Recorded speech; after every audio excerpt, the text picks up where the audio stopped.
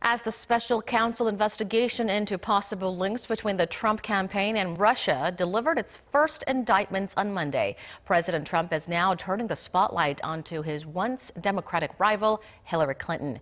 In a series of tweets on Tuesday, President Trump pointed to reports the Clinton campaign helped fund research that ended up in the now infamous dossier containing bizarre allegations about his supposed ties to Russia.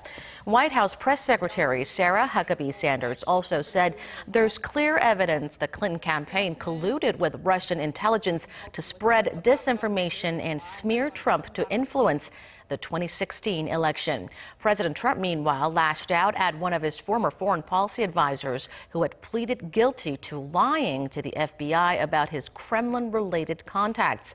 The president, who had once called George Papadopoulos an excellent guy, said he was a low level volunteer and a liar.